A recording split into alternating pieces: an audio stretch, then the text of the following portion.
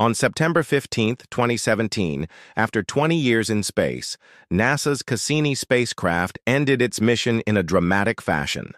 It dove into the planet Saturn, and it did this on purpose. See, Cassini had been studying Saturn and its moons for over a decade, but its supply of fuel was running low. And instead of letting the spacecraft crash into one of Saturn's moons, which would contaminate it and potentially destroy any future human missions there, NASA decided to have Cassini make a death dive into the planet itself. So on its final approach, Cassini began taking measurements of the atmosphere and sent back some incredible data. It literally gave us a view of what it was like inside Saturn's atmosphere before being ripped apart by the planet's gravity and being destroyed.